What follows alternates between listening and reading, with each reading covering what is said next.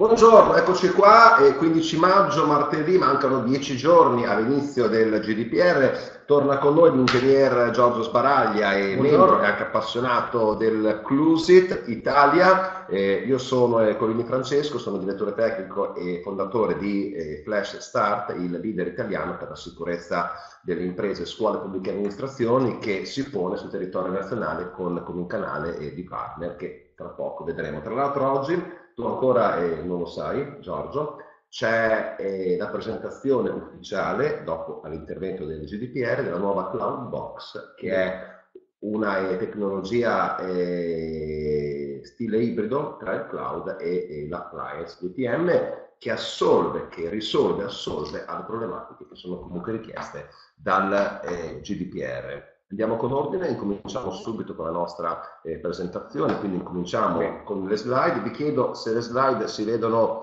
correttamente, se l'audio sia ok e se ehm, la telecamera sia corretta. Ok, le slide sulla destra si vedono, sulla parte destra del, del vostro schermo. Bene, eh, giusto perché mh, siccome oggi siamo, insomma, siamo comunque tantissimi, siamo, siamo anche sopra, sopra il limite eh, capienza massima di questa piattaforma, eh, vi chiedo gentilmente eh, di aspettare un attimo per le domande, daremo magari degli stop, daremo esatto, un paio di, di stop, delle, pa delle pause domande, delle, comunque pause di quarto d'ora, vi dirò eh, via le domande, eh, le battete, le comunque visitate sulla chat, se una domanda se è già stata posta e magari verificate senza ripetere due volte, così eh, siamo più snelli. Poi comunque alla fine c'è il form di, eh, di verifica eh, col sondaggio. Questa volta noi saremo giudicati, come scuola c'è possibilità di votare, come comunque alle lezioni, eh, e per cui potrete comunque dirci se eh, vi è piaciuto oppure se qualcosa è, è, da migliorare. Bene, eh, chiedo l'audio se è stabile oppure sì. se salta mi dicono che c'è solo qualcuno che dice che salta ogni tanto, ma c'è che l'audio va e viene. Quasi tutti dicono che va bene un attimo soltanto, ci dicono che va bene. Chiedo con la regia, Marco, se mi dici l'audio se è, se è corretto, dice che va bene, ok. Bene. bene. Allora forse c'è un, qualche problema magari a livello di banda, magari controllate eh, la Audio, eh, quindi con audio e video perfetti. Benissimo. Bene, io eh, ti lascio la parola, GDPR meno eh, 9 giorni all'applicazione. Giorgio Sbaraglia, esatto. membro Clusit. Buongiorno a tutti. Allora, cominciamo subito, entriamo nel tema. GDPR, problema opportunità. Questo è il titolo che abbiamo dato a questo webinar ed è eh, un titolo che io uso spesso anche nelle mie formazioni d'aula.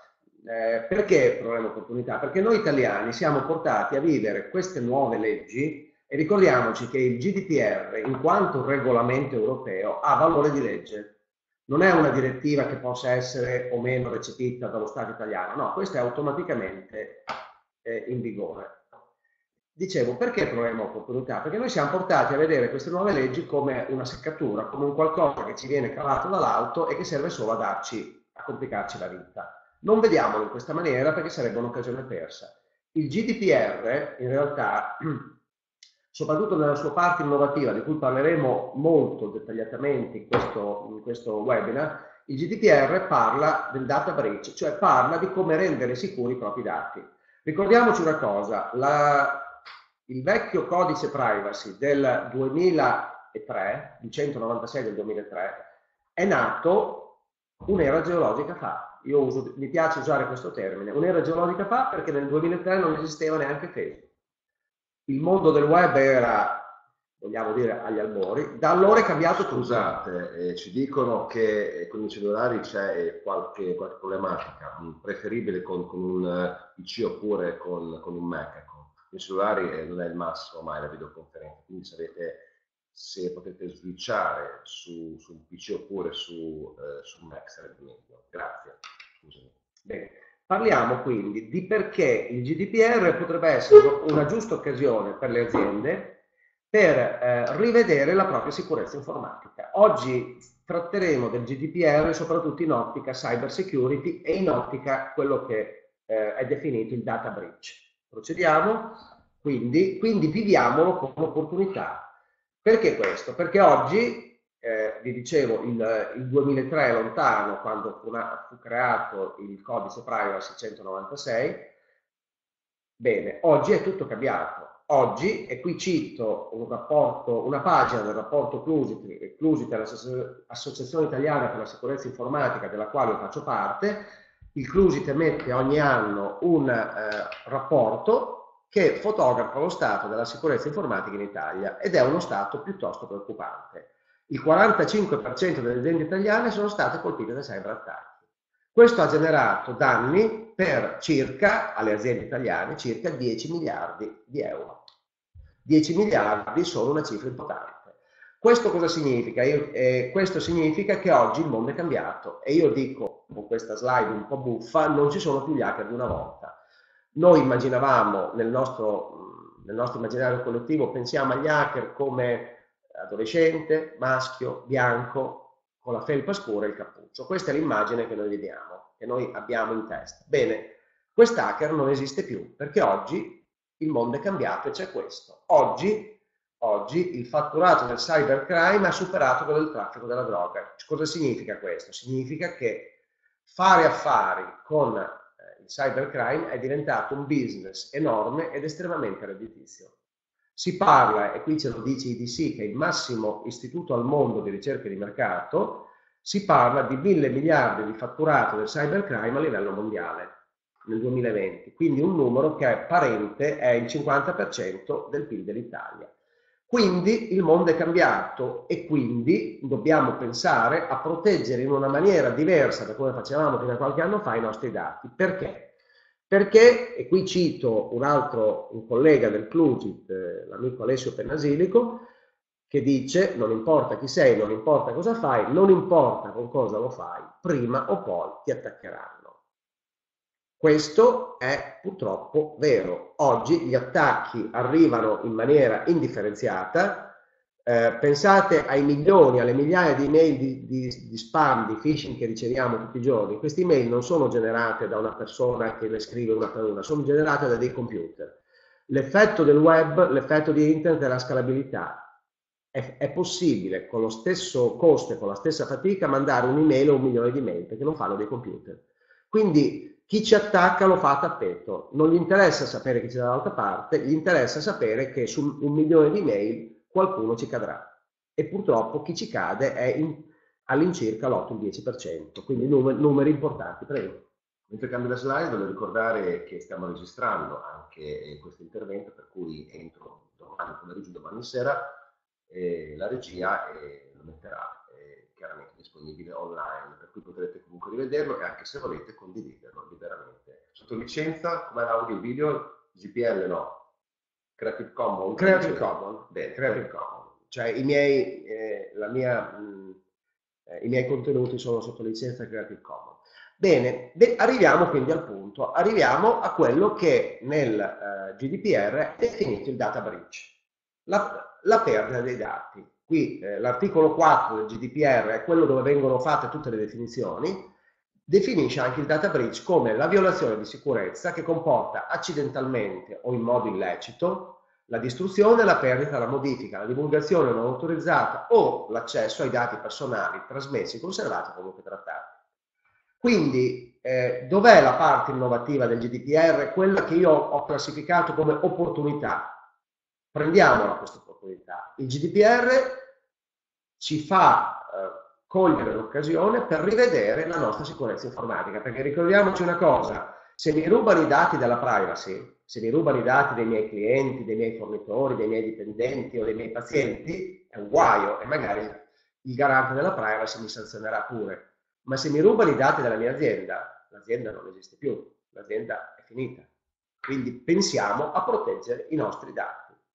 Che cosa è un data breach? Vediamo, vediamo in dettaglio, entriamo in questo argomento, perché un'altra cosa che mi piace eh, ricordare è che eh, il GDPR ha una parte, lasciatemi dire, tradizionale, una parte che è documentale, una parte che è eh, simile a quello che esisteva già nel decreto legislativo 196. Tra l'altro noi italiani col codice privacy avevamo già una legislazione piuttosto avanzata Dicevo, la parte innovativa, quella che come direbbero gli americani è la più disruptive, la più dirompente, è la parte che riguarda proprio il data breach. Al Clusit abbiamo detto che non poteva l'Europa eh, creare una legge del tipo mettete in pratica la cyber security, non può esistere una legge fatta così, quindi ha preso, ha preso il tema e come dico io ci ha girato intorno, cioè ha cercato di introdurre il concetto di cyber security all'interno di un regolamento sulla privacy.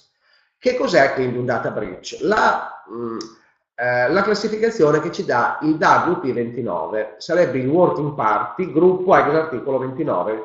È eh, un gruppo di lavoro che sta continuamente emettendo linee guida, perché il GDPR ha tanti punti ancora non chiari. Questo ehm, Working Party 29 ha classificato il data breach in, tema, in tre macro categorie. Ricordatevi, ed è piuttosto facile, l'acronimo CIA quindi confidentiality breach, quando c'è una perdita di confidenzialità, cioè quando il dato viene in qualche modo, eh, non è più riservato, quindi qualcuno ne ha accesso. Integrity breach, quando il dato viene alterato, non è più eh, come l'originale, è modificato o addirittura falsificato. Availability breach, quando il dato viene perso, availability disponibilità, cioè quando il dato non è più disponibile. Queste tre forme di data breach sono, eh, ve le racconto un po' meglio con alcuni esempi, perché quello che succedeva ieri, quando qualcuno avesse magari subito un attacco, un incidente informatico, eh, con la GDPR in vigore dovrà essere affrontato in modo diverso. E qui vi faccio alcuni esempi. Questo è molto importante, il trattamento di un'eventuale intrusione dati. Esatto, eh, passiamo alla slide successiva. Ecco, eh, quali sono quali sono, quali sono alcuni esempi di data breach. Per, eh, ricordiamoci che il data breach non è solo l'attacco hacker, anzi, forse i data breach più frequenti potrebbero essere eh, data breach di tipo semipassato in termine tradizionale. Per esempio, la perdita di un device non cifrato. Classico, mi rubano il computer portatile da dentro l'auto, magari all'autogrill, è un classico. Bene, se questo computer viene rubato, non mi hanno rubato un pezzo di ferro, mi hanno rubato un pezzo di azienda, perché in questo computer ci sono i dati importanti della mia azienda. E se questo computer non è cifrato, quella che si chiama tecnicamente è una metodologia che io consiglio caldissimamente, la full disk encryption, se questo eh, computer non ha il disco cifrato, questi dati finiranno in mano a qualcun altro e io dovrò dichiarare, denunciare questo data breach. Altro esempio, un'infezione procurata da un ransomware. I ransomware sono quei malware che entrano nei nostri sistemi e criptano i file e quindi li rendono indisponibili. In questo caso c'è una perdita di disponibilità. Anche questo è un caso che dovrà essere denunciato al garante della privacy. Per esempio il CryptoLocker. Esattamente, il ransomware per eccellenza è quello che tutti conoscono, è il CryptoLocker, lo conoscono perché io facendo tanta formazione, tanti corsi nelle aziende, vedo che tante aziende purtroppo ci sono capitate anche più di una volta. Due punti molto importanti, siccome abbiamo tantissimi eh, consulenti informatici, più della metà delle e persone che, che, stanno comunque seguendo questo, questo webinar di oggi sono eh, consulenti ICT. Il consulente, il, il consulente informatico comunque si rileva che c'è stata un eh, data breach e quindi comunque sensibilizza il suo cliente a eh, denunciarlo. Se il cliente non lo fa, il consulente informatico no. che è manutentore, La, qualcosa? No, allora ci sono delle figure precise. La responsabilità e poi lo vediamo tra qualche slide, la responsabilità di autodenunciarsi, cioè di comunicare al garante il data breach, è in capo al titolare. Poi, poi c'è la figura del DPO, no, poi ci, ci, ci sarà l'altra figura del Data Protection Officer che non esisteva nel vecchio codice privacy, che è stata introdotta, è una delle cose più innovative di questo regolamento privacy, il DPO che è una figura ehm, strana, se vogliamo, una figura strana perché eh, è una figura nominata dal titolare, quindi pagata dal titolare, direi che nasce in conflitto di interessi per, per definizione, perché è pagata dal titolare, ma deve rappresentare l'anello di congiunzione tra l'azienda e il garante. Quindi deve controllare l'azienda e dall'altra parte deve essere che, quello che si interfaccia col garante in maniera, eh, direi, eh, indipendente. Faccio l'avvocato eh, del diavolo. però sempre comunque per il canale. Se il DPO, eh, metti il caso che sia esterno, Giorgio, e in genere lo eh, spinge nel eh, denunciare l'eventuale data breach, ma il titolare eh, non vuole farlo, chi rischia? Allora, eh, in prima battuta il titolare. È chiaro che il DPO dovrà comunicare che, che quello che sta facendo il titolare è in violazione a regola. Dovrà comunque eh, intimare, indurre, invitare il titolare ad adempiere al, GDP, eh, al, GDPR, dopodiché se questo non lo fa la responsabilità sarà la sua, perché si possono innescare anche responsabilità penali. Eh, la figura del DPO è piuttosto delicata. Il DPO può essere in una piccola impresa che Roberto anche il titolare può concedere? No, assolutamente no. Deve essere una figura in qualche modo terza. Eh, Di garanzia? Sì, tra l'altro in una piccola impresa il DPO non è richiesto, non è obbligatorio. Il DPO è richiesto nelle aziende pubbliche, sia piccole che grandi, e questo è un problema perché anche una piccola azienda che, abbia, che operi secondo le regole del, del, diritto pubblico è obbligata ad avere il DPO o per le aziende grandi sopra i 250 dipendenti. Quindi, in una scuola invece chi può essere, siccome abbiamo tante eh, scuole? In una scuola potrebbe essere anche un insegnante esperto, cioè il DPO può essere anche un interno, però eh, si, configura una, si configura una persona, un ruolo che non deve essere... Eh, dipendente in maniera funzionale dal titolare, cioè deve essere una persona che, che, titolare, che va a controllare quello che fa il titolare. Questo, questa è una situazione veramente che nasce in conflitto di interesse. Ricordiamoci che questa legge, il GDPR, nasce in una logica di common law, cioè la, legge, la, la giurisprudenza anglosassone, che è diversa dalla nostra. E io parlando con giuristi eh, di valore mi hanno spiegato che nella, nel common law è eh, diffusa la figura del, del controllato che nomina il controllore, cosa che nella legislazione italiana non è. Sì. Quindi il controllato, cioè il titolare, nomina il controllore, cioè il, GDPO, il, il DPO. Eh, finiamo questa slide velocemente. Può Una... essere il responsabile informatico, mi chiedono il GDPO di una scuola? Assolutamente. Anche un docente può essere. Certo. Non, è, non, è, eh, non, esiste una figura certificata di DPO per il momento. Eh, il, il, GDPR dice che deve essere una figura con capacità professionali, quindi con conoscenze specifiche, ma non esiste ad oggi un albo dei DPO, una certificazione di DPO. Esistono delle modalità per eh, fare formazione e quindi anche per certificarsi, ma per essere DPO, quindi c'è una, una norma che ha attivato una certificazione sui DPO, ma questa norma non rende il DPO obbligatoriamente certificabile, cioè non è necessario che il DPO sia certificato. Bene, proseguiamo, proseguiamo. Comunque eh, eh, le annotiamo e poi le riponiamo. Proseguiamo, grazie. Allora, scusa, c'era un attimo da finire. La, il terzo caso è la perdita di disponibilità se un dato viene inviato per errore, per esempio, ad un terzo non autorizzato. In questo caso il dato diventa di dominio di qualcuno che non l'avrebbe dovuto ricevere. Ok? Andiamo avanti.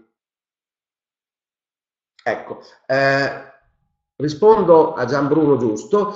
Eh, come fare per fare la comunicazione del, eh, del, data breach ne parliamo tra un paio di slide, vi rispondo tra un paio di slide. Il GDPR prescrive alla sezione 2, racconta alla sezione 2 in particolare agli articoli 32 e 34 come comportarsi in caso di, di eh, data breach. Lasciamo stare l'articolo 32 per perché non abbiamo tanto tempo e comunque l'articolo 32 dice che l'azienda deve mettere in pratica le misure più idonee per proteggere i suoi dati, eccetera, eccetera, quindi è un articolo abbastanza descrittivo. Veniamo subito all'articolo 33, la notifica, la notifica di una violazione dei dati.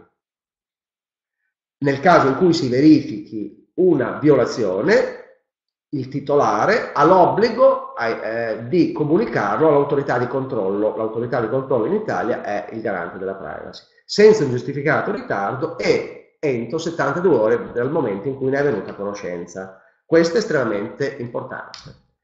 Vedremo dopo le condizioni nelle quali si può esimere dal fare la comunicazione. Eh, qualora la faccia in ritardo deve comunicare i motivi del ritardo. Per esempio è prevista, è prevista una situazione di, eh, istruttoria, cioè io, non ho, io titolare non ho capito se c'è stato veramente un data breach, mi prendo un attimo di tempo per investigare, per capirlo. Questo tempo non viene conteggiato nelle 72 ore, perché potrebbe esserci non sempre è automatico capire che c'è stato un incidente informatico. È chiaro se mi rubano il computer in auto lo capisco subito, ma se c'è qualcosa di un intruso nel mio, nei miei sistemi informatici potrei non capire se c'è stato veramente un, uh, un data breach. Bene, andiamo avanti.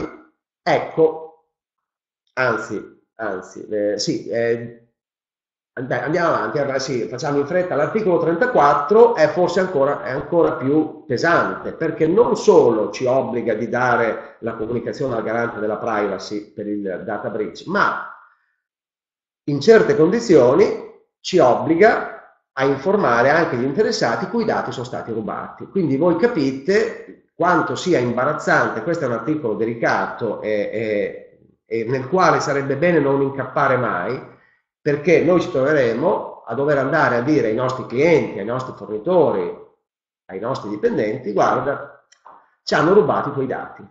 Capite che dal punto di vista reputazionale è una pessima figura. Eh, qui ho elencato i casi nei quali questo può succedere quando il, il, titolare è tenuto ad informare gli interessati in caso di danni fisici, materiali, morali, danni economici, furto, usurpazione di identità, pregiudizio alla reputazione, perdita del controllo dei dati, limitazione dei diritti, decifratura non autorizzata della pseudonimizzazione, discriminazione, perdite finanziarie. Sono tanti casi. Questo eh, l'articolo 34 è complesso da capire, è complesso da capire, ma, ma però abbiamo una, una via d'uscita estremamente importante, di cui parleremo poi quando parleremo di come mettere in pratica la cyber security in ottica GDPR. Eh, l'articolo 34 esonera il titolare da, del trattamento dall'obbligo di comunicazione nel caso in cui, e, e, vediamo il punto A che è il più interessante, nel caso in cui i dati rubati siano incomprensibili e quindi inutilizzabili. Per esempio si sono cifrati. Non a caso vi ho citato l'esempio del furto di computer, eh, il computer che ti viene rubato all'autogrid, perché se quel computer ha il disco cifrato, quei dati non sono utilizzabili, quindi chi ce lo ruba ci avrà rubato un pezzo di ferro e non un pezzo di azienda.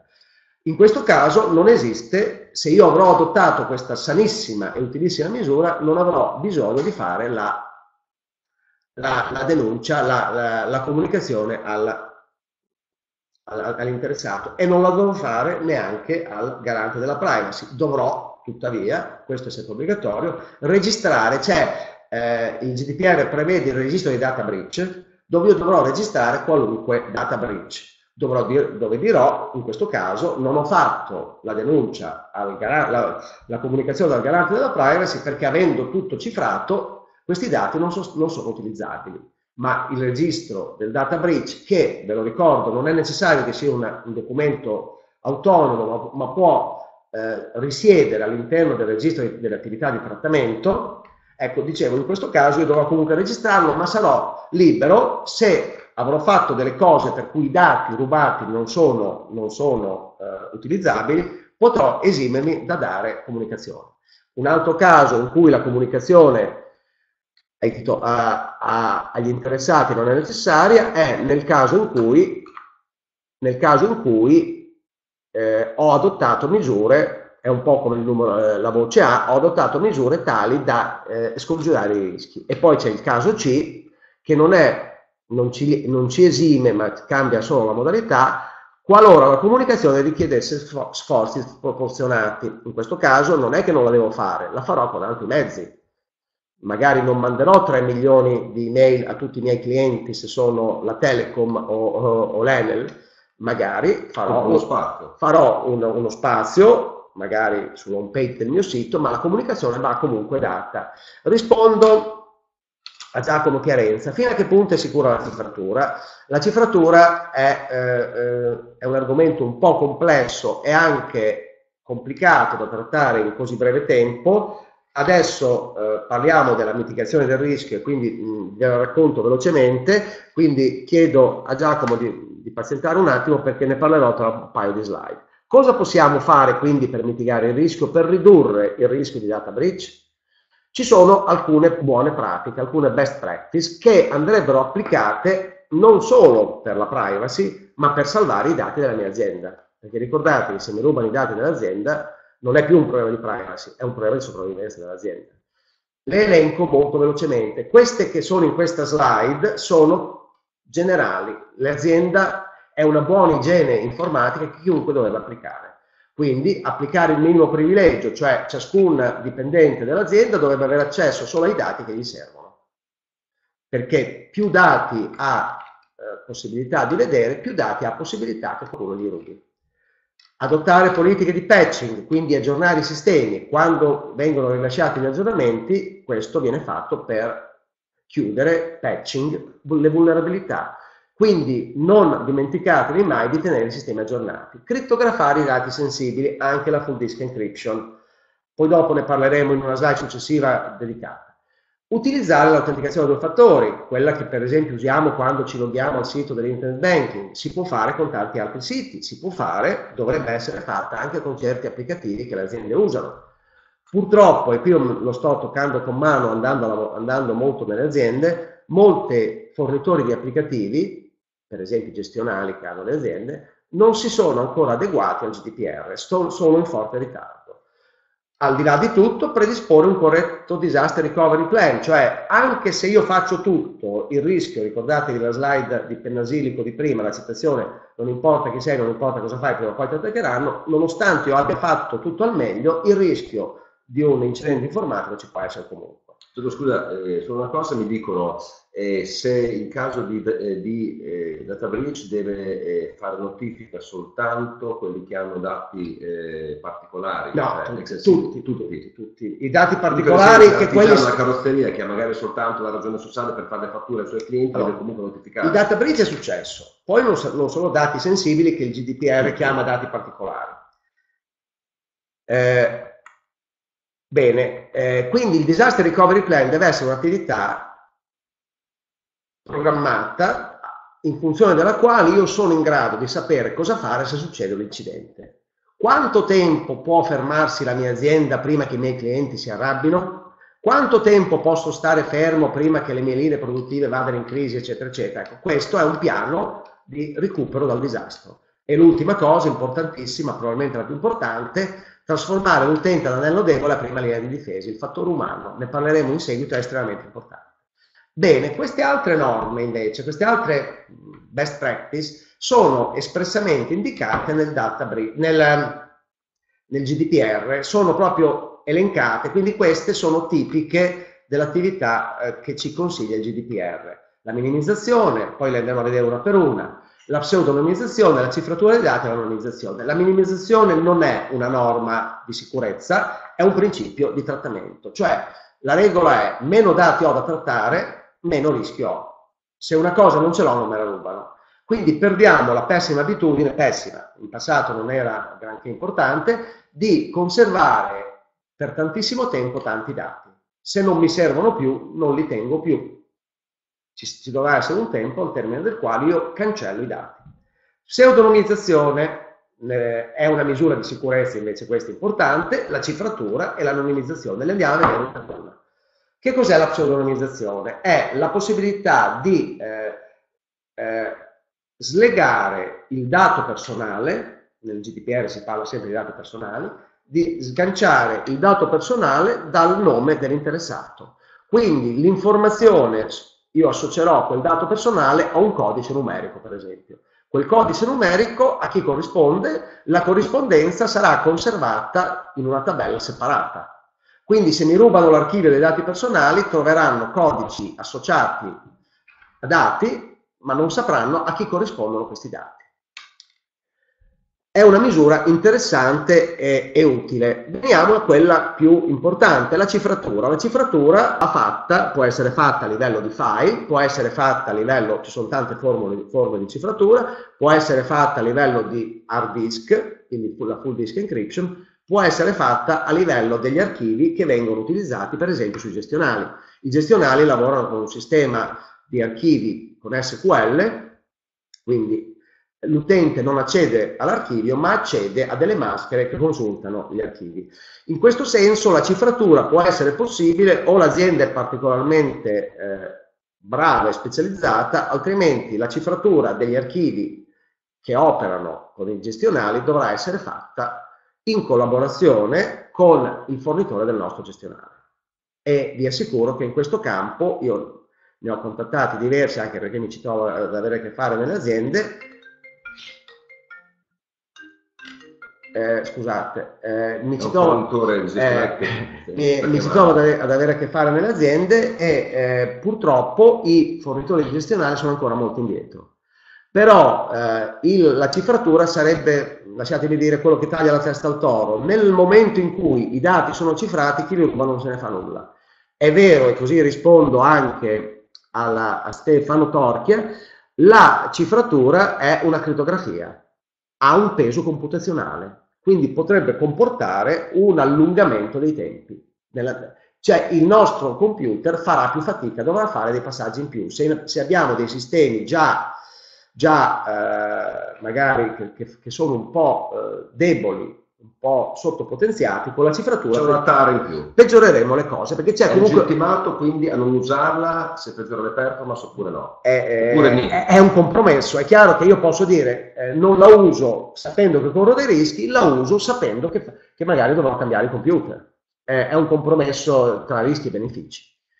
E poi c'è l'anonimizzazione. Questo è meno importante. L'anonimizzazione significa slegare completamente il dato dalla persona cioè scollegare il dato personale dalla persona. Questa cosa si può fare solo qualora io abbia dei dati che uso a carattere statistico. Quindi non mi interessa più sapere che Giorgio Sbaraglia ha, fa queste cose, dirò semplicemente che Giorgio Sbaraglia eh, che eh, rientra nei, nei, clienti di Forlì e quindi avrò i clienti o di Cesena. E quindi il dato personale non è più collegato alla persona, ma mi serve solo per fare statistiche. Quindi capite che l'anonimizzazione non è di grandissima utilità. Arriviamo verso la conclusione e ve la faccio una, raccontando una brevissima storia vera, successa in un'azienda eh, che ho toccato io con mano. Un'azienda un giorno subisce un attacco ransomware perché qualcuno aveva cliccato sull'email sbagliata e tutta l'azienda si blocca. Un bel guaio. Per fortuna l'azienda era ben organizzata, una PMI di 50-60 dipendenti e riesce nel, giro di 4 ore, vi assicuro che 4 ore gli andate di lusso, riesce a ripartire ma l'amministratore delegato è furioso perché si rende conto che ha perso 4 ore di fatturato e chiede di portargli il colpevole. Il colpevole arriva, quando gli stanno per fare la lavata di capo, questa persona dice io non sapevo neanche che esistessero quelle cose lì. Oggi una frase del genere nel 2018 non è più ammissibile. Non è più ammissibile perché io non posso avere dipendenti che cliccando a Vandera perché non sanno cosa stanno facendo, perché non sanno non hanno la consapevolezza, la frase, la parola consapevolezza è molto importante, non, non, hanno la consapevolezza di quello che stanno facendo, arrecano all'azienda dei danni che potrebbero essere anche irreparabili. Quindi, quindi, quindi è estremamente importante che noi facciamo formazione ai nostri dipendenti, perché oltre il 90% degli attacchi informatici sono causati dall'errore umano. È l'errore umano anche quello che lascia il computer all'autogrill in macchina, ovviamente, ma eh, quasi tutti, e qui non ho il tempo eh, di dilungarmi, ma quasi tutti gli attacchi informatici sono causati dall'errore umano. Quindi fare formazione è una cosa estremamente importante, che lo stesso GDPR prevede all'articolo 39, lo, lo, prevede in diversi punti, ma in particolare cito l'articolo 39 dove, dove viene invitato il DPO, il responsabile del trattamento, a fare certe cose, tra cui ho estratto il punto B, la sensibilizzazione della formazione del personale che partecipa ai trattamenti e alle connesse attività di controllo.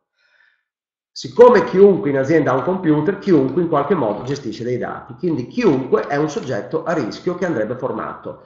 Eh, aggiungo una cosa, la formazione andrebbe fatta nella, nell'attività di preparazione che un'azienda fa sul GDPR, e io, ripeto, in questo periodo ne sto appunto facendo tanta proprio in questa ottica, dopodiché consiglio sempre alle aziende che, nelle quali vado a fare questa formazione di eh, registrare questa formazione che fanno nel registro dei trattamenti. Ricordatevi che il registro dei trattamenti, quantunque non obbligatorio al di sotto di certi, di certi scaglioni di dimensioni aziendali, andrebbe fatto comunque, perché un registro, un registro di bordo dove l'azienda registra tutto quello che fa e dovesse mai arrivare il garante della privacy perché è successo un incidente, sarà la prima cosa che guarderà. Quindi noi dimostreremo che abbiamo fatto una serie di attività, tra le quali per l'appunto la formazione. E con questo vado a concludere con la slide che tipicamente conclude tutti i miei corsi. In ogni cyberattacco c'è sempre almeno un errore umano, il problema esiste tra la tastiera e la sedia, cioè è l'essere umano. Quindi lavoriamo molto sull'essere umano perché i sistemi informatici possono essere protetti, la cifratura può essere protetta, ma ci può essere sempre il rischio che una persona per incapacità o anche per dolo possa rubare per esempio dati o possa cliccare nel posto sbagliato e fare entrare un attacco informatico. Io vi ringrazio, qui ci sono, te, ci sono i miei contatti e, e, a questo punto passo la parola a Francesco, lasciamo un po' di spazio alle domande, anzi eh, eh, il GDPR deve essere fatto anche dal libro professionista, io sono un libro professionista, è chiaro che dipende dai dati che uno tratta. Un libro professionista medico mi dicono che mh, dovrebbe essere abbastanza esentato, un poliambulatorio lo deve fare magari con dati di analisi.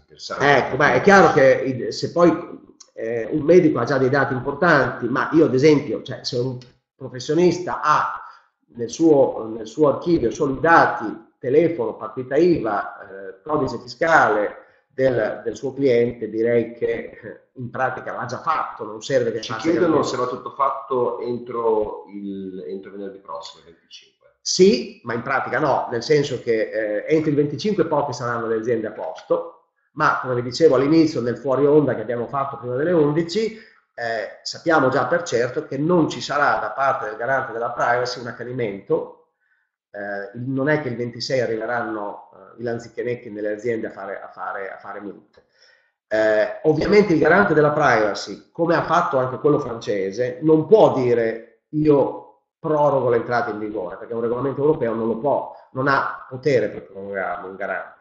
Può far capire in maniera più o meno velata che non si accanirà da subito, ma darà tempo alle aziende. In Francia il garante è stato molto brillante e ha detto che dal 26 cercheranno di aiutare le aziende. È un modo di dire garbato per dire non vi faremo le multe subito, vi daremo tempo. Sappiamo lo possono anche in Italia. Eh, sicuramente, anche sì. perché il garante Bene. lui stesso non è attrezzato come forza, come forza materiale. Dieci minuti perché voglio parlarvi di, di soluzioni, poi dopo Aspetta, noi rispondiamo un attimo. Sì, allora, sì. eh, quali sono gli scaglioni in cui vengono divise le aziende? Beh, allora, c'è lo scaglione di sopra i 250 dipendenti, poi ci sono, eh, qui entriamo in un tema che in, una corso, in un seminario così breve difficile trattare, poi ci sono tutti gli scaglioni legati al tipo di, di dati e alla numerosità di dati che uno tratta. Un'azienda potrebbe essere molto piccola, faccio un esempio, un'azienda che fa e-commerce, magari ha 20 dipendenti, 10 dipendenti, ma ha milioni di clienti con tanti dati acquisiti via internet. Ecco, in questo caso ha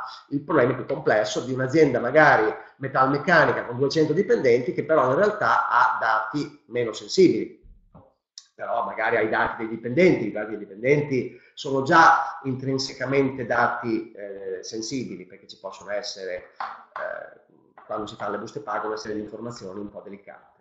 Bene. Proseguiamo, poi eh, c'è ancora spazio eh, per le domande. Scusa, una, ah beh, faccio l'ultima risposta. Per gli enti pubblici il responsabile, immagino il DPO, è sempre l'amministratore informatico incaricato? No, non è necessario, può essere una figura qualunque eh, l'amministratore informatico, inten- suppongo intendiate eh, l'amministratore di sistema. Non, c'è nessuna, mh, nessuna eh, prescrizione in questo senso. Il GDPR, proprio perché viene da una logica di common law, di diritto anglosassone, non è particolarmente rigido. Dice, lasciatemi dire, io la, la, metto, proprio, la metto giù brutta, eh, il GDPR dice eh, fate quello che vi pare ma fatelo bene.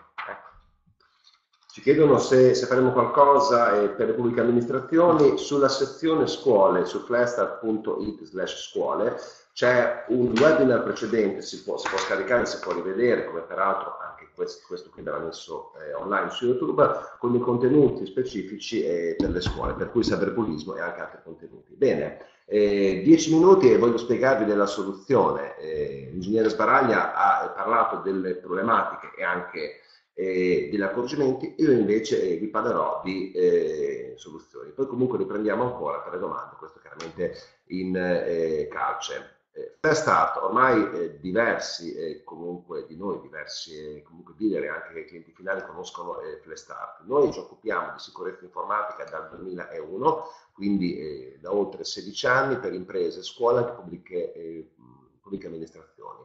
Cerchiamo di vedere eh, questo GPR come un'opportunità eh, anziché come, eh, come, una, eh, come un'ulteriore comunque burocrazia che l'Europa ci ha messo.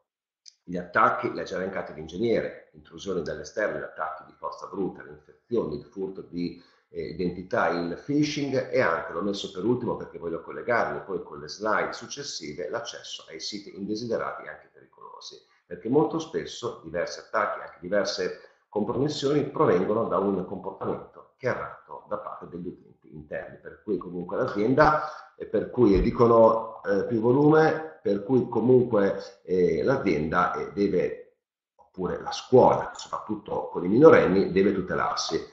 Così l'audio è basso o è... si sente bene l'audio? Chiedo bene.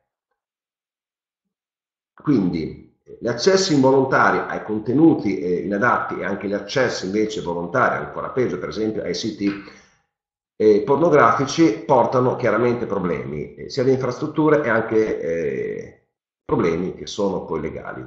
In questa slide ho eh, racchiuso due, due, articoli di Repubblica, ma ce ne sono tanti, pedopornografia online, denunciati 13 genovesi, lotta ai pirati del eh, download, per esempio lo scarico e il eh, download eh, di materiale che è protetto, come la musica, oppure come, come i film, oppure come, come il eh, software. Ecco, ci dicono che, che il microfono non è così, un secondo un feedback, se così si sente bene oppure se vi suona anche dice basso, partiamo ancora il volume, la voce ti squilla più di me, così?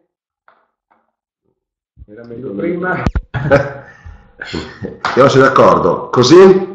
Ok, dai. Dicono ok. Ok, perfetto, andiamo avanti. Oh, bene, siamo perfezione, eccoci qua.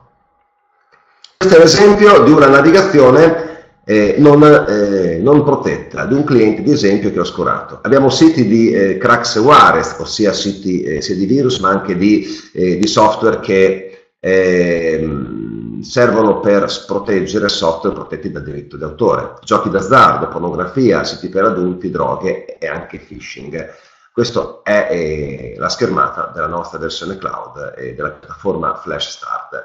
Questi invece sono i malware che vengono rilevati eh, dal sistema in, eh, in, un certo periodo comunque eh, di tempo, eh, per esempio ransomware, phishing, botnet e anche attacchi su una rete che è senza filtraggio. Siccome ci sono tante aziende, credo comunque tanti imprenditori che, ehm, che hanno che hanno impreso oppure che seguono imprese, qualcuno ha mai, eh, ma è importante anche ritengo eh, per la pubblica amministrazione, qualcuno ha mai considerato il costo occulto dell'utilizzo eh, improprio di internet? Bene, ve lo dico io. Consideriamo eh, un'impresa che ha 10 dipendenti contratto commercio.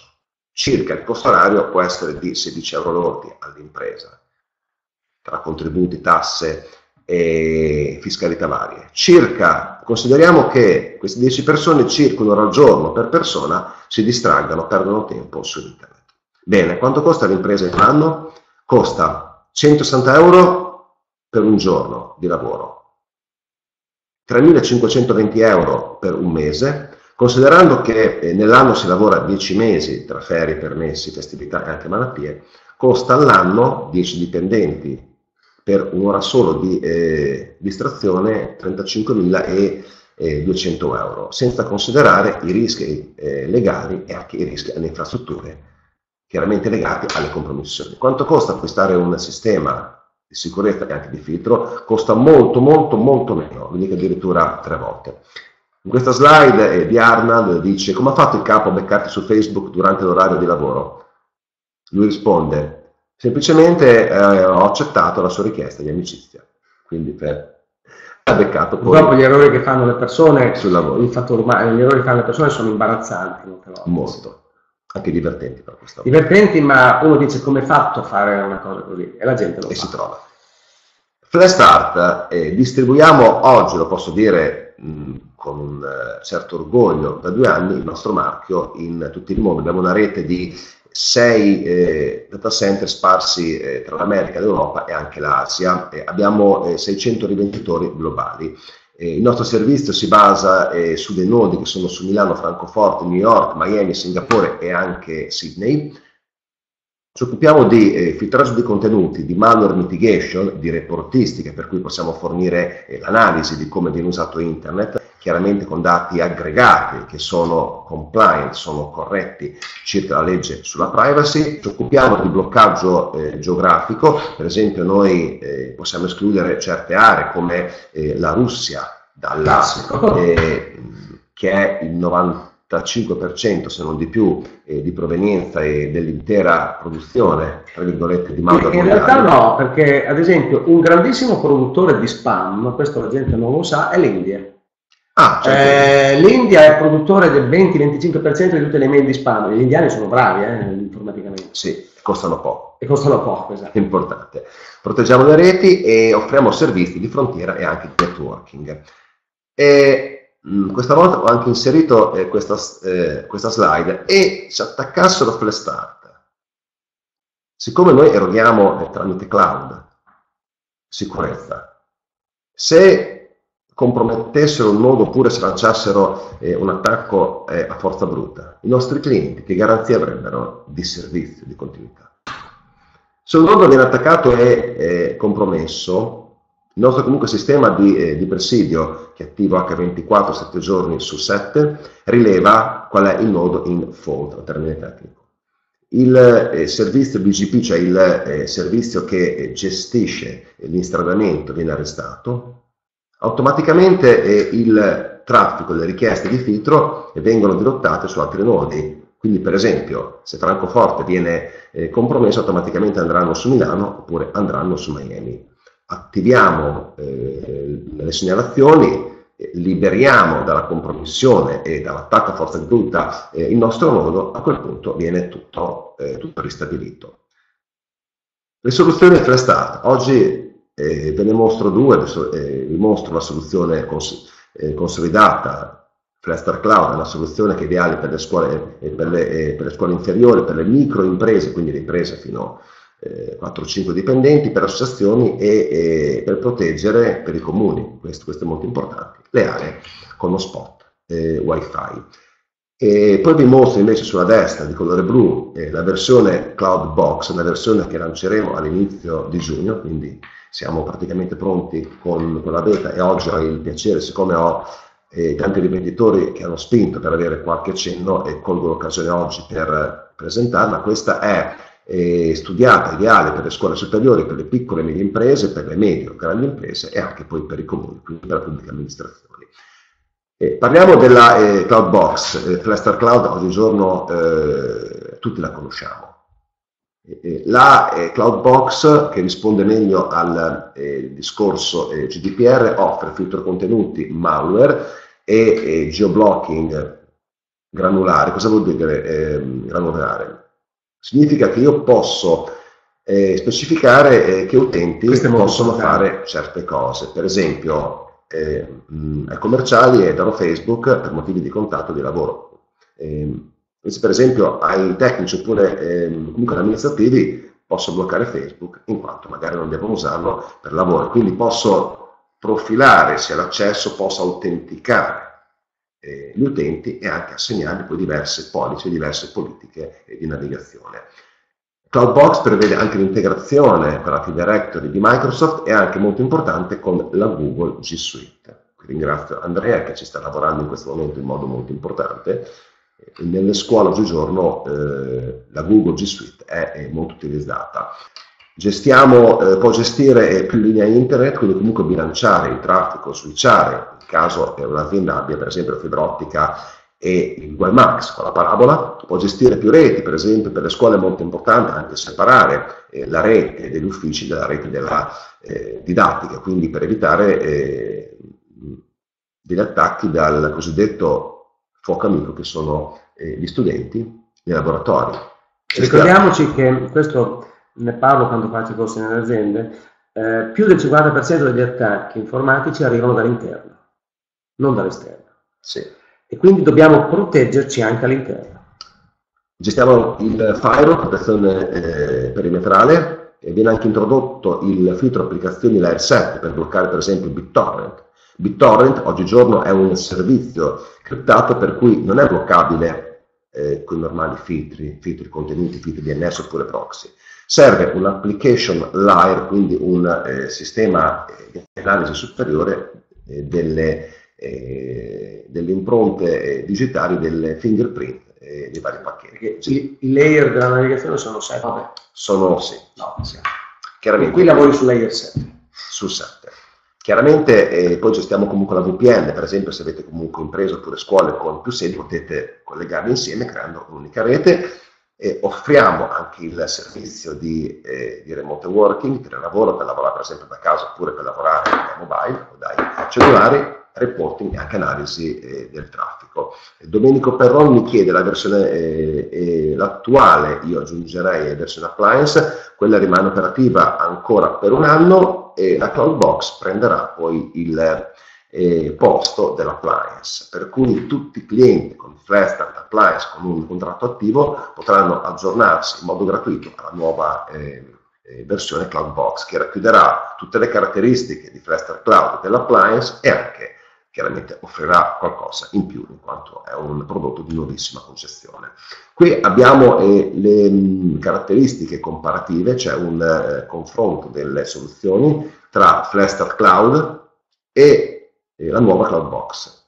I filtro contenuti ce l'hanno tutte, protezione malware ce l'hanno tutte, la, eh, la, eh, la, protezione del motore di ricerca ce l'hanno tutte, sia la Cloudbox che il cloud, eh, la reportistica, il blocco eh, geografico, la pagina di stop customizzabile, per esempio se, se voi siete eh, in un'azienda e volete comunque far apparire eh, il logo dell'azienda quando eh, viene acceduto un sito pornografico si può customizzare il vostro logo. La rete si basa su una rete comunque mondiale, eh, su un Emicast di servizi e il nostro sistema di licenza ma sempre sugli utenti concorrenti, per cui per una scuola che ha per esempio 2000 tra studenti, insegnanti oppure collaboratori, eh, ma navigano contemporaneamente in media solo in 200, voi pagherete soltanto la licenza per 200. Poi in più la Cloudbox ha il eh, firewall, la protezione granulare, si autentica con la Directory KP, eh, Porta e eh, Google eh, Service, il R7, il multi-WAN e il multi-LAN ehm, analisi traffico e anche telelavoro e, e VPN. Queste qui sono le caratteristiche a confronto. Eh, la brochure la mandiamo nella mail che seguirà poi i contenuti di questo webinar. Per cui per darvi il scotto, eh, la brochure della Cloudbox. Chiedono, Flash Start eh, Cloud è criptato? E gli archivi sono chiaramente criptati, le password sono chiaramente codificati con, con chiave. Con hash? Ah, sì, con hash, chiaramente. Immagino che sia SHA-2. Sì, chiaro, chiaro, chiaro. La 2, la 2. Questi qui sono, sono alcuni eh, screenshot della Cloudbox che ho rubato allo sviluppo ieri, senza che loro se ne accorgessero, che vediamo comunque eh, il menu, eh, l'home page e anche la protezione granuale. Eh, granulare Quello per, è il coscotto. Sì, sì, sì, esatto, per gruppi di utenti. Eh, mi entro e faccio una eh, condivisione eh, dello schermo, giusto, eh, giusto, un minuto perché vedo che mi stanno chiedendo di eh, fare una eh, brevissima mh, presentazione live di eh, Flashstart Cloud, che è il nostro prodotto eh, attualmente principale, quello comunque diffuso a livello mondiale. Vi chiedo eh, se si vedono, se si vedono ehm, le slide oppure no, vi chiedo se, se è visibile bene, cioè ehm, le slide. Sì, sì, la schermata, ok. Bene, questo è, bene, questo prodotto si chiama Flashdart Cloud, è il nostro prodotto eh, chiaramente standard, che dicono di sì, bene, ecco. Quando entriamo intanto vediamo subito che tipo di traffico eh, viene fatto, cracks wireless, pornografia, gioco d'azzardo. Chiaramente io su, eh, sul report e puoi vedere chiaramente i numeri. Da notare che noi eh, comunichiamo quali categorie di siti sono stati consultati oppure bloccati, ma non eh, comunicheremo mai la macchina. A parte che Frestar Cloud, essendo remoto, eh, non può neanche vedere quell'utente, per esempio, che è andato, che è andato su playboy.com, però vediamo che, eh, che hanno fatto eh, in, negli ultimi tre giorni 101 accessi ai siti eh, di pornografia. Qualunque report è ovviamente schedulabile, per cui il dirigente scolastico, l'imprenditore, il, e comunque responsabile ICT può, può vedere e anche può ehm, selezionare quali, quali, tipologie di report andare a eh, chiaramente leggere. Se ritorno sui grafici che sono proposti eh, nell'home page, vedo che sotto c'è il grafico dei siti consultati, che non sono pericolosi, per esempio siti generici, siti, eh, i server di contenuti, motori di ricerca, siti di software. Poi subito sotto vedo il eh, traffico geolocalizzato, vediamo che la maggioranza è eh, sia sull'Europa che sul Nord America, ovviamente i server di Google e di Microsoft, i server che il nostro PC eh, consulta più frequentemente stanno in America. E sotto vediamo eh, quali malware sono stati eh, bloccati. Dalle liste io posso scegliere, profilare quale, ehm, quali blocchi effettuare. Noi, eh, noi, oggi abbiamo un database, posso dire comunque numeri tranquillamente, da oltre 25 milioni di siti che sono catalogati in oltre eh, 54 diverse categorie. Proponiamo eh, delle macro categorie che se aperte, se spuntate, poi mostrano le sottocategorie. Posso scegliere un, eh, una categoria se bloccarla, se sbloccarla, oppure se oppure bloccarla, bloccarla. bloccarla sì. in certe fasce orarie. Per esempio, mi hai rubato le parole di no, blocca. Ormai, ormai, ormai conosco. Ti blocca anche te. Navigare. Per esempio, Facebook, nelle aziende c'è sempre il classico dilemma. Facebook sì oppure Facebook no. Voi cosa, cosa fareste?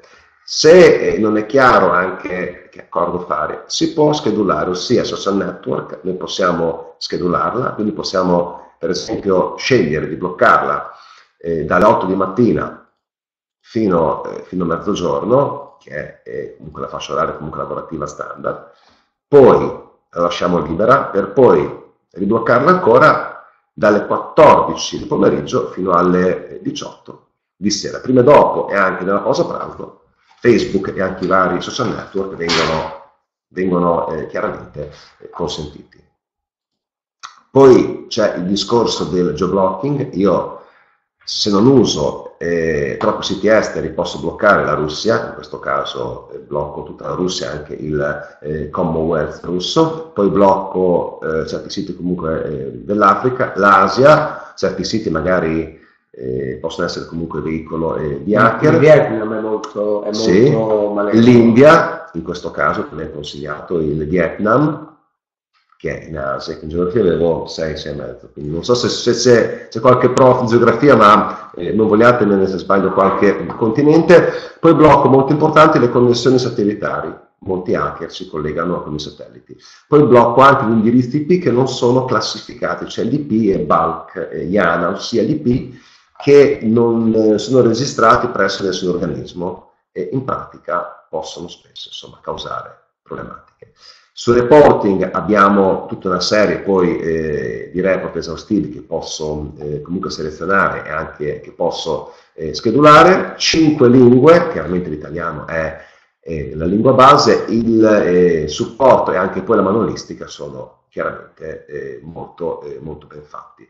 Da notare che se, se vendete router, per esempio, per esempio il Microtik, ho detto la parola maschio perché sono eh, le router board più vendute, abbiamo anche manuali con l'integrazione nativa. Per esempio, se usate Microtik, automaticamente si può settare in 3 minuti con gli script che forniamo eh, direttamente noi. 30 secondi invece per mostrarvi la eh, Cloudbox Quindi adesso vi sto mostrando la versione beta ancora, per cui perdonatemi se qualcosa manca, ma siamo comunque in una beta, lo sviluppo dopo ehm, me la farà pagare, comunque la voglio mostrare lo stesso. Questa invece è la Cloudbox, eh, quindi la soluzione che è ibrida, che è a metà tra il cloud e anche l'appliance, prende il meglio eh, dal cloud per poi eh, clonarla su una soluzione di eh, tipo appliance. L'home page d'ingresso è quasi simile, tranne comunque eh, la sincronizzazione dal cloud all'apparato. Poi invece se io, eh, se io spunto eh, il menu, vedo per esempio che ho eh, molte più opzioni del classico cloud. Se faccio eh, filtro web, eh, posso crearmi dei gruppi con dentro degli utenti, per esempio studenti oppure teacher insegnanti, oppure semplicemente posso mettere anche degli indirizzi IP tranquillamente, quindi posso mettere sia IP di macchine oppure per esempio anche ehm, degli utenti. In questo caso sono gli IP delle macchine che, che accederanno a internet. Sì, gli IP delle macchine o se no e se invece voglio comunque lavorare sugli utenti mi abilito l'autentica e per esempio qualunque utente, per esempio eh, Mario Rossi che è un insegnante, da qualunque macchina si collega, prende e eredita eh, le sue policy. Filippo Rossi che è uno studente, da qualunque macchina si collega, chiaramente erediterà eh, un'altra serie di policy. Posso per ogni gruppo poi selezionarmi eh, le liste, quindi come prima su Cluster Cloud eh, si è visto come selezionare le, eh, le liste eh, globalmente sull'intera rete, qui invece io posso scegliere per gli impiegati blocco Facebook, eh, blocco le news e mm, blocco i siti di tempo libero. Per, eh, per, i top manager invece addirittura posso fare un profilo eh, non filtrato, pur magari posso creare dei profili magari con, eh, con soltanto siti per adulti che sono eh, da bloccare, eh, mentre libero Facebook e anche poi libero tutti gli altri siti. Ecco, quindi la protezione diventa ovviamente granulare con i settaggi. Poi abbiamo eh, lo strumento dell'autentica che è molto semplice con i tre tipi d'autentica, Radius che è il protocollo più usato oggigiorno per lo scambio dati, per esempio con Access Point oppure con i router, possiamo autenticarci con Active eh, Directory oppure con, con, Google G Suite. È molto semplice, si, eh, si, seleziona per poi chiaramente andare a mettere eh, i vari dati che ho. Questo per esempio è la configurazione con Active Directory, io metto chiaramente l'IP, il nome del, eh, del mio server e anche la password che ho oscurato ovviamente per, eh, per, privacy. Poi abbiamo lo strumento firewall che è molto importante, quindi c'è il firewall sia in uscita, firewall in ingresso e poi c'è anche il eh, firewall tra reti, cioè, oppure noi possiamo scegliere se abbiamo per esempio una LAN e uno DMZ oppure abbiamo la rete degli uffici con la rete eh, della, eh, dei laboratori, possiamo scegliere quali ponti aprirli e anche se aprirli, il tutto in modalità chiaramente eh, granulare. E su, e su ciascuna porta.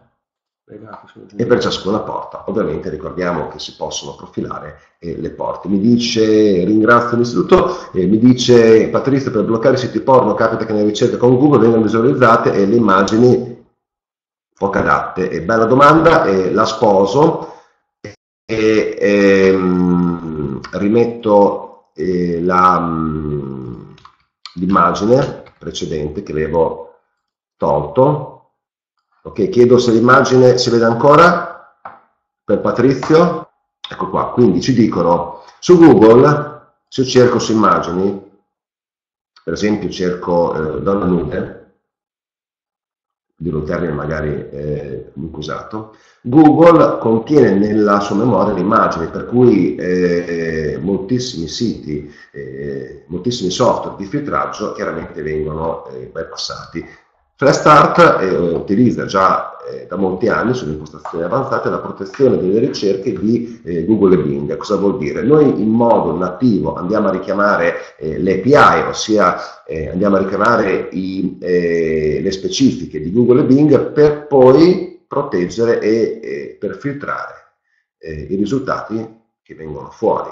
Cosa otterremo? Otterremo che le ricerche saranno già filtrate da cosa? Dai siti pedopornografici, dalla violenza, eh, dai siti eh, per esempio inneggianti fascismo oppure eh, nazismo, oppure dai siti che non sono eh, consentiti. Questa protezione è presente sia su Cluster Cloud e anche eh, sulla nuova Cloudbox. Controllo ancora le varie domande, se avete anche domande per l'ingegnere eh, fatele pure in questo eh, momento. Eh, erano più su, magari dopo le andiamo a vedere un attimo. Dice è possibile inviare eh, alcuni utenti a cui non eh, si applica il blocco, Giuseppe sì, chiaramente eh, puoi fare un profilo per esempio top manager oppure utenti liberi che mh, navigheranno, saranno reportizzati, quindi comunque il traffico tu lo potrai vedere e anche analizzare, ma non avranno poi alcun blocco.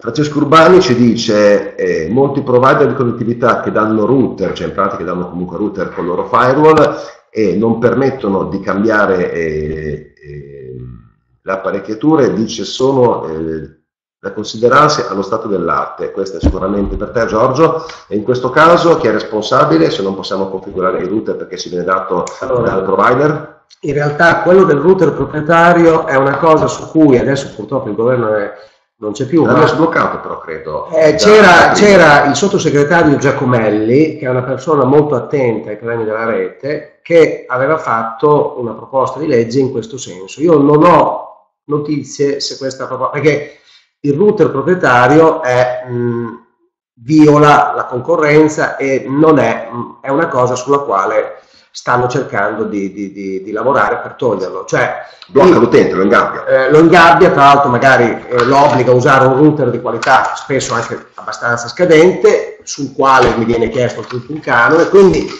quindi la cosa è in evoluzione. Eh, in caso eh, eh, Scusa, non, non capisco cosa... No, scusa, fammi, non mi hai tolto la domanda? Eccoci qua. Eh, non capisco cosa voglia dire, solo considerare lo stato dell'arte e in questo caso la responsabilità ricade sul provider sul cliente. È chiaro che il, cli che il cliente, eh, a mio parere, non ne viene, non è manlevato perché c'è un file, c'è un, un router di tipo eh, di tipo proprietario, è chiaro che quello che succede a valle del router è di, di responsabilità del cliente. Per mettere un altro file magari. Esatto, posso, posso, il posso, è consentito. Cioè esatto, posso proteggere a valle, anzi è quello che normalmente si fa. Vediamo. Uh, uh, Chiusa un NAS, cioè eh, la classica box sì. eh, col cavo Ethernet al posto di un server è eh, certo, sì, sì, ma diciamo che il GDPR non entra in questi tecnicismi. Come dicevo prima, il GDPR ci dice fate le cose per proteggere i vostri dati, ma fatele bene. Quindi il NAS è una cosa utile. Poi, eh, e questo è un discorso che io faccio nei corsi eh, dove c'è più tempo, il NAS è una cosa estremamente utile che le aziende dovrebbero avere, ma nella misura in cui il NAS poi è connesso H24 con il resto della rete, potrebbe essere a sua volta eh, colpito da un ransomware. Se questo NAS è fatto in funzione di ehm, creare il backup dovrà essere un NAS con un livello di protezione diversa e non accessibile a tutti perché l'utente Pippo si prende un ransomware, il ransomware sappiamo si propaga su tutti i computer che vede e se vede il NAS lo, lo infetta. Dopo un attimo, eh, intanto sì. che, che, rispondete vi chiedo anche di compilare il nostro sondaggio, vi chiedo eh, di compilarlo eh, per migliorarci e anche poi per fare un po' il punto con un osservatorio che poi eh, pubblicheremo chiaramente con dati, e con dati eh, aggregati, per cui prima di, eh, di, lasciarci vi chiedo di rispondere comunque brevemente a queste domande che stanno sì. comparendo sulla allora, parte eh, noi rispondo, con... ecco, che Lanfranco Vandelli, che referenze deve avere un, un DPO? Eh, allora, eh, qui c'è un po' di confusione. Allora, eh, l'ho detto prima, eh, il DPO non è richiesta una certificazione dal GDPR per fare il DPO. Il DPO, il GDPR parla di che deve essere una figura con una professionalità eh, riconosciuta, quindi in pratica ci dice che non è che tutti possono fare il GDPR, ma non prevede una certificazione. Dall'altra parte c'è un'altra norma che è la 11.5, una norma UNIN, che eh, ha creato una serie di profili certificati in ottica GDPR, quindi uno si può certificare ma come ho detto prima, questa certificazione non è obbligatoria, cioè io posso fare il DPO anche se non ho questa certificazione. Quindi hanno creato la certificazione, ma non è obbligatoria. C'è ancora un po' di confusione, il GDPR è nato dopo una lunga gestazione, perché se ne parla dal 2008-2009, e solo nel 2016 è uscito, è una, una formula fatta di tanti compromessi, e quindi stanno entrando le linee guida tra cui le tante linee guida che fa il WP29, per fare chiarezza su certi aspetti che sono ancora un po' confusi. C'è una domanda eh, su Flashstart, David Scott mi dice cos'è Flashstart Cloudbox? È, eh, intanto è un servizio software che lavora in cloud con un hardware, con, eh, con un hardware che può essere sia fisico oppure eh, virtuale, se hai VMware oppure KVM eh, una qualunque piattaforma di macchina virtuale eh, va benissimo, che, che, si colloca fisicamente chiaramente presso la rete del tuo eh, cliente. L'hardware può fornirtelo eh, start oppure se preferisci, se anche tu commercializzi hardware, secondo le nostre specifiche puoi usare anche il, eh, il tuo hardware eh, senza problemi. Intanto eh, che, che, Giorgio Sbaraglia risponde sì. alle altre domande, vi ricordo eh, di compilarci il nostro sondaggio. Grazie, lo aspetto perché ci serve molto Patrizia D'Emilio per migliorarci. Patrizia D'Emilio chiede, allo stato attuale un amministratore di una piattaforma di learning sono esigenti in, cui, in cui vengono accidenti, vengono registrati gli iscritti con nome, cognome, codice fiscale, alla rinascita del luogo, deve fare, cosa deve fare per adeguarsi? In realtà questi sono dati non, non sensibili, che il cognome, il cognome, il codice fiscale sono dati sì, sono, sono dati, dati, personali, ma non sono dati nascosti. Eh, dirà, direi che qui non deve fare praticamente nulla. Una buona regola sarebbe comunque chi fa una piattaforma di learning e chiunque ha dei clienti farsi comunque rilasciare il consenso. Ma ti serve l'informatico, eh, Marino oppure l'avvocato? Serve sicuramente un eh, consulente. Servono ambedue. Chi non ce l'ha e vi ricordo che il nostro ingegnere è comunque disponibile previo, previo contatto con, eh, con, attività di libera professione, se avete bisogno eh, di sicurezza c'è Flestart, sì. che ovviamente lavora con i vostri consulenti. Eh, per i clienti finali eh, voglio dirvi che eh, Flestart, eh, che Flestart ehm, lavora unicamente tramite il canale, questo, questo, è molto, questo, è molto, importante, quindi comunque noi c'è uno slogan, we love the channel, noi comunque lavoriamo soltanto eh, con i rivenditori, per cui se voi siete clienti finali potete contattarci e poi noi vi dirotteremo eh, sul, sul, nostro dealer, sul nostro partner che è, eh, che ovviamente è più vicino a voi.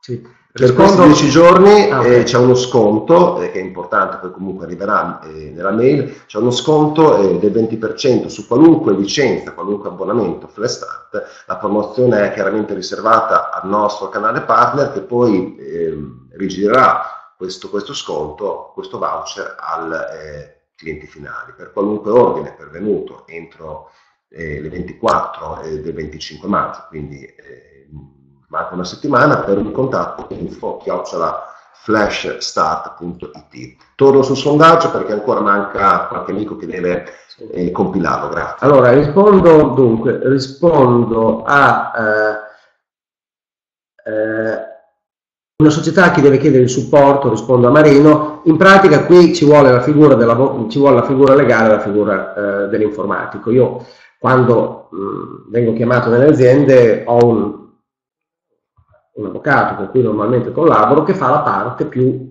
passatemi il termine, più tradizionale, io mi occupo di quella più informatica, ma molte volte la, eh, la, la parte legale, molte volte le, le aziende la, la, possono ricavare anche attraverso la sessione di categoria che magari ti forniscono già eh, la modulistica che, che deve essere cambiata in funzione del nuovo GDPR perché alla fine se un'azienda, ricordiamoci che se un'azienda aveva messo in pratica il codice della privacy come dovrebbe essere, perché non è che la privacy l'hanno inventata adesso, c'era anche prima, se un'azienda aveva, eh, era a posto col 196 del 2003, dovrà tutt'al più modificare la modulistica e recuperare, eh, cioè aggiornare la modulistica. Quello che non c'era prima, che quindi non può avere fatto, è la parte informatica. Ci chiedono per una piccola azienda quali sono l'intervento minimo che bisogna fare per essere in Allora, allora io di solito ragiono così, eh, l'intervento minimo è una piccola audit, cioè eh, si va in azienda e si vede lo stato dell'arte si vede il livello che l'azienda è. L'azienda potrebbe essere già a posto secondo la vecchia normativa, il vecchio codice privacy, o potrebbe essere un'azienda che non ha mai fatto nulla. E quindi di lì si capisce che cosa, qual, qual, è la... Eh, cioè prima di fare, di prescrivere la medicina dobbiamo visitare il paziente. Quindi si fa un audit che può essere anche solo di, di qualche ora. Eh, io ne ho fatti anche in, alcuni, in alcune aziende addirittura di, di tre mezze giornate, ma in alcuni casi può bastare anche due, tre, quattro ore. Dopodiché lì si, si ricavano le conclusioni. Le conclusioni saranno, e io normalmente si fa un vero e proprio eh, assessment, una, una relazione finale che l'azienda potrà poi inserire nel proprio registro dei trattamenti per dimostrare che ha fatto le cose. In, questo, in questa relazione ci sarà una fotografia dello stato dell'azienda e gli interventi consigliati da fare per migliorare la situazione che sono, possono essere interventi di tipo eh, legale, quindi sistema, la modulistica, eccetera, eccetera, piuttosto che installo un sistema informatico migliore, faccio la crittografia dei dati, eccetera, eccetera. C'era una agenzia di viaggio ritengo che abbiano comunque dati eh, normali, standard eh, e non sensibili particolari, sì, per cui trattamento... Diciamo, prima c'era una domanda sulle associazioni sportive. Per le associazioni sportive ne parlavo proprio un paio di giorni fa con il presidente nazionale di una delle più, delle più importanti associazioni sportive italiane e eh, le associazioni sportive hanno, eh, hanno, dei bei problemi perché sono, intanto tipicamente non hanno tanti soldi per fare le cose, ma hanno dati in genere abbastanza sensibili e molto spesso anche dati di minorenni. Quindi il problema è abbastanza delicato. Le associazioni sportive non lo devono sottovalutare. Direi l'ultima domanda sugli impianti eh, di videosorveglianza, poi dobbiamo concludere. Impianti di videosorveglianza, eh, la, la, il discorso della videosorveglianza che era prescritto dalla privacy, dal regolamento privacy, dalla codice privacy rimane. La videosorveglianza è un problema molto delicato che coinvolge, eh, soprattutto nelle aziende, coinvolge anche le, eh, le, le organizzazioni sindacali, eh, è un tema, è un campo minato. La, la videosorveglianza che va trattata con grande attenzione, perché sennò si rischiano veramente di, eh, delle sanzioni e degli incidenti. Per domani vi ricordo che noi invieremo una mail a tutti voi che avete partecipato con la videoregistrazione, con eh, le slide che saranno eh, divulgate con, con Creative eh, Commons eh, dell'ingegnere eh, Giorgio Sbaraglia, che vi ricordo che è a disposizione previo contatto email per qualunque consulenza livello professionale, comunque domani c'è anche il sito di Giorgio Sfaraglia e anche la mail, e sarà presente anche il voucher col 20% di sconto per l'acquisto per il canale partner di Flestart eh, che è riservato entro il, eh, le ore 24 del 25. Okay. Guarda, faccio l'ultima risposta sì, è, perché è abbastanza, è una domanda eh, generica, generica, quindi piuttosto utile, Urbani Francesco. Il GDPR mi sembra di capire non dà punti di riferimento preciso, pertanto quando si parla di dotarsi di tecnologie per la sicurezza allo stato dell'arte, cosa vuol dire per una piccola azienda? Ecco, è vero, il GDPR, proprio in una logica di common law, di, di, di diritto anglosassone, ci dice fate il meglio possibile. Non, c'è nessun articolo, io questo lo dico sempre, nel GDPR che dice è vietato farsi rubare i dati, è vietato subire un data breach. No, eh, è vietato non fare nulla per proteggere i propri dati come fare per proteggerlo, uh, c'è tutto un discorso che va anche sotto il nome eh, DPA, Data Privacy Impact Assessment, quindi io faccio una verifica, un po' quello che faccio, vado a fare io nell'azienda, una verifica di quello che è lo stato dell'azienda, quali sono le criticità e su quelle vado a lavorare. Poi posso decidere che eh, su certe criticità, certi rischi, io faccio l'accettazione del rischio. Cioè non posso perché costa troppo o perché non ho intenzione di farlo, non intendo fare certe migliorie, accetto il rischio, sapendo che in quel, in quel problema manterrò un punto di debolezza. Quindi non c'è, infatti manca una certificazione a fronte della quale un'azienda possa dire io sono certificata GDPR, non c'è la certificazione GDPR. Ma arriverà secondo te Giorgio? Ne stanno parlando, ne stanno parlando. Sarebbe utile. Eh, sarebbe utile, poi noi italiani abbiamo bisogno del bollino che ci pari. Eh, la certificazione al momento, al momento, non c'è, eh, li chiamano i privacy seals, i, i sigilli di privacy. La certificazione al momento non c'è, ne stanno parlando, potrebbe nascere, potrebbe nascere anche in forma un po' disordinata, cioè che ce ne siano diverse, qual, eh, ci potrebbero essere anche enti terzi che si creano la loro, quindi c'è un po' di confusione. Però una cosa, e qui mi riferisco soprattutto alle aziende da una certa dimensione in su, una cosa che sarebbe eh, tranchant, che sarebbe sicuramente eh, ottima e metterebbe l'azienda, direi, al sicuro, è se l'azienda sceglie, cosa che io faccio in alcune aziende, non tante ancora, la certificazione ISO 27001, che è la norma per la protezione dei dati, per la sicurezza dei dati informatici. Bene, è chiaro che in una piccola azienda questo non ha senso, però eh, una, se una grande azienda si certifica ISO, una grande, io ho fatto anche certificazione di aziende di tante persone, di 30 persone, quindi anche un'azienda non tanto grande si, si fa la certificazione ISO 27001 e fa qualcosa che rispetto al GDPR è addirittura sovrabbondante. Bene. Quindi è a posto. Concludiamo il webinar di oggi, è la mezza, e vi lascio ancora tre minuti per, eh, per compilare il nostro questionario. Intanto ringrazio l'ingegnere Giorgio Sbaraglia, domani arriva il video, le slide e, e anche il voucher con 20% di sconto e anche i contatti per la consulenza professionale dell'ingegnere Giorgio Sbaraglia. Compilate per piacere eh, il questionario perché sicuramente eh, ci permette di migliorarci. Grazie a voi e vi auguro chiaramente un buon proseguimento di giornata. Grazie, una buona giornata. Buongiorno. Ciao a tutti.